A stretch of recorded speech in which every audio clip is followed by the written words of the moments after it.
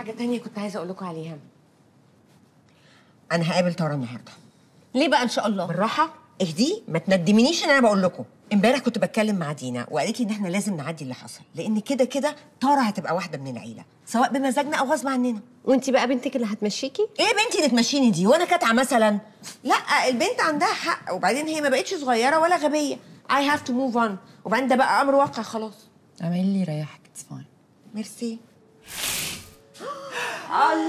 شكلك قمر. يجنن. إيه الحلاوة دي؟ حلوة قوي. فظيعة.